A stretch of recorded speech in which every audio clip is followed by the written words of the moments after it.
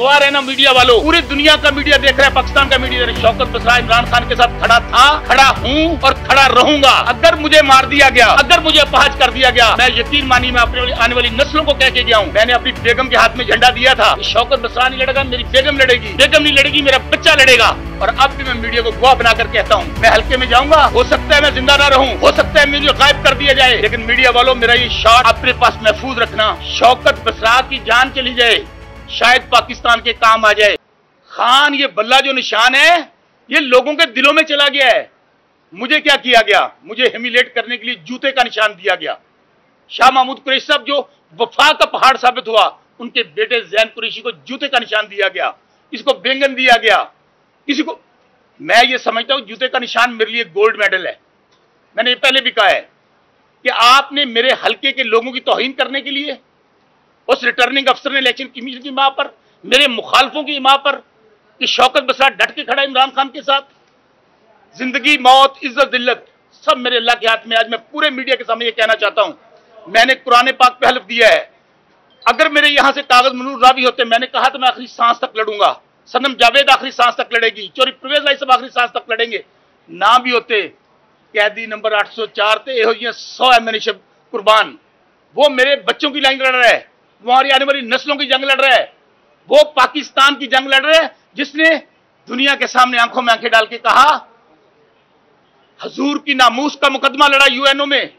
इमरान खान, कैदी नंबर 804 ने कहा, जब हमारे दुनिया के मालिक ने कहा तो उसने क्या कहा? उसने कहा absolutely not absolutely not over my dead body आज आप इमरान खान को जेल में डाल के, मुझे हो सकता है पहले भी मेरे साथ जो कुछ हुआ है, मैं आप बता नहीं सकता आपको कितनी एफ़ आई आर मेरे साथ दर्ज है।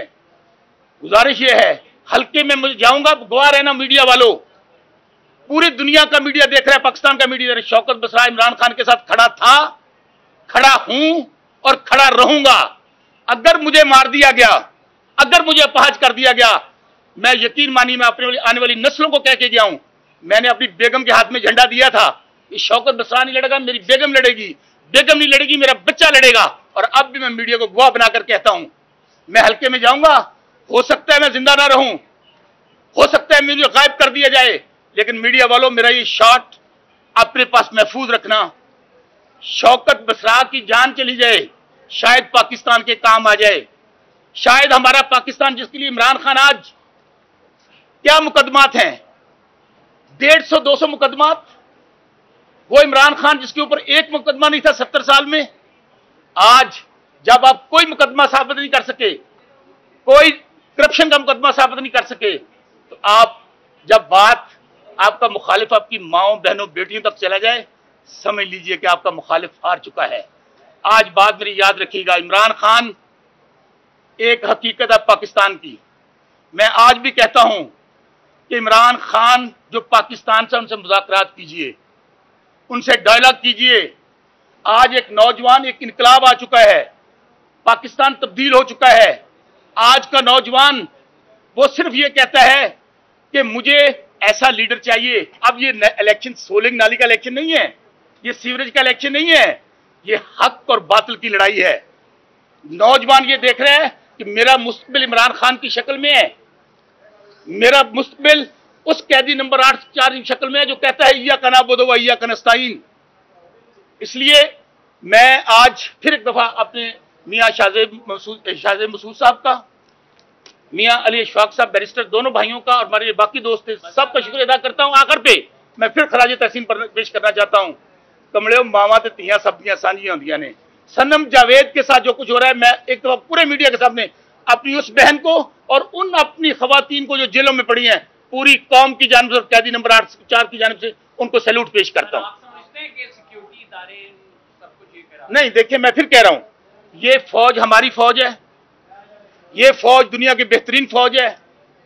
हमारी फौज में हमें फख्र है लेकिन ये जो हमारे मुखालफीन हैं ये इस हद तक लो चले जाएँगे कि वो जो कहते थे वोट को इज़्ज़त दो वो आज बूट को छोड़ ही नहीं रहे हैं।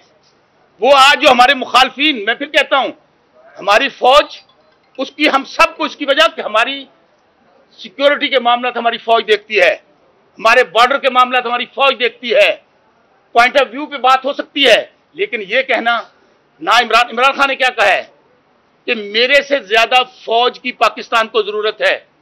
इमरान खान क्या कहते हैं? कि शायद इमरान खान की इतनी ज़रूरत नहीं है। इसलिए फौज ये हमारी फौज है। उसके खिलाफ कोई बात करेगा सबसे पहले तहरीक इंसाफ का नौजवान खड़ा होगा।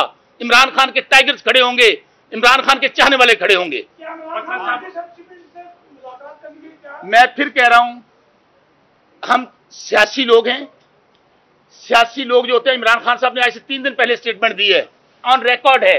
उनके बुकला ने बाहर बाहर आकर कहा है कि मैं तमाम कुफ्तों से मुजाकरात के लिए तैयार हूँ। उसकी वजह आपका मुल्क बंद गली में चला गया है। उसके बाद जो कुछ मैं देखने जा रहा हूँ, उसके बाद हालात पाकिस्तान के अच्छे नहीं रहेंगे। आज भी वक्त है, पंजाबी कहते हैं डुल्ले बिरादा कुछ नहीं बिगड़िया अभी भी वक्त है कि हमें बैठना चाहिए, रास्ता निकालना चाहिए, और तमाम से, अब मुझे बताइए वल्लाबा खुदा, पीडीएम का जो टोला है, वो एक बड़ी मशहूर आजकल, हम बाहर जाते हैं तो पुलिस पकड़ लेती है, वो बाहर जाते हैं तो पब्लिक फड़ लेती है। वो कैंपेन करने के काबिल नहीं है। और ये झुरलू इलेक्शन जिस तरह साड़ी गल हो गई है, साड़ी गल, वो कितना गल हो गई है? अवाम से बात करो, हो गई है? अवाम से बात नहीं हुई है। लोगों को अब कहते क्या है? हमारी हुकूमत आनी है, हमारी हुकूमत आनी है। हमारा, आज हो क्या रहा है? डीएसपी एसएचओ पटवारी, ये जो रिटर्निंग अफसर बने हुए कौन है?